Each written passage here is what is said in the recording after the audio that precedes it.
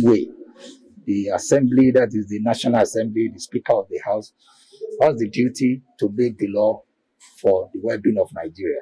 And the same way for the executive to execute the law. Today, the court has already proved that one clearly to say this matter is still within the purview of the legislator to make the law. And after you, the law has been made, then anybody can come to court. But as it is now, this is something that we need not do. And the case is so clear. Like we told the court, this is a simple case of a zookeeper complaining about the paper tiger. How the question is, how will you think paper tiger will devour, will kill a zookeeper when you know what it is? I think this is not this is not the kind of case you bring in before our court. And I, and finally, let me use this opportunity to thank my Lord. This is the case that within two months, been fully dispensed with. It is something that we need to commend and to know that our judiciary is working and that one has been put to play with this case. The fifth respondent in this case is the Inspector General of Police. Uh, the court has delivered the judgments today, and uh, the judgment is a development of law, and it remains in reference.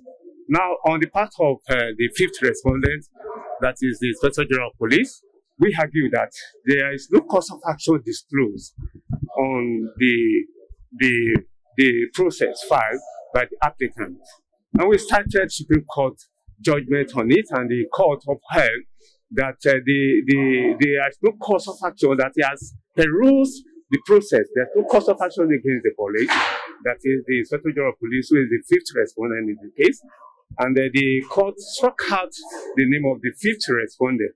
However, having gone further to the, the judgment, the, the judgment was also delivered in favor of the respondent first to fifth respondent that uh, the, the, the, the matter is about the control of infectious disease uh, B 2020, which the applicant is saying that uh, the, the bill is going to be debated at the floor of the House of Representatives National Assembly. So the court opined that this bill has not been it has not been passed to law.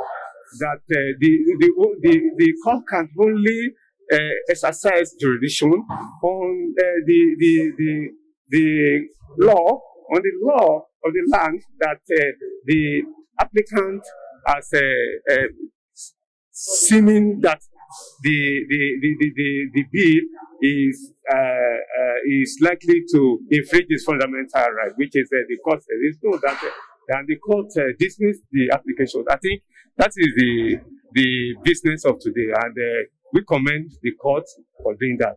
The Honorable Court has taken its time to deliver a well-considered judgment, uh, basically on the fact that the what the applicant seeks is to enforce his right on a bill that is not yet an act of the National Assembly. And uh, the law is very trite in such respect, where you cannot enforce or ask the court to deliberate or adjudicate on a bill that is not yet an act. And by the way, how can how can uh, a bill confer right on obligation on a person? I believe it's quite premature at this stage and uh, shouldn't be encouraged. And such applications, um, as the court has, right, has rightly um, ruled on, is, is, is a mere uh, academic exercise and should be discouraged.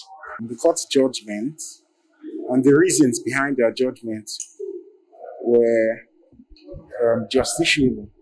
They were okay, in our opinion. The reasonings behind the um, judgment of this court does not relieve the particular issue we're trying to raise. It does not um, totally dismiss the issue we're trying to raise um, this matter.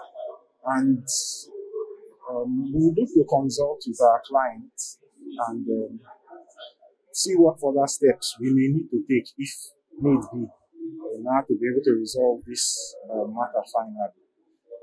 Um, we hope that as the court has already opined, um, the bid itself will not in any way actually affect the rights of our clients or any of the citizens of this um, country. And that's that's where we leave it for now.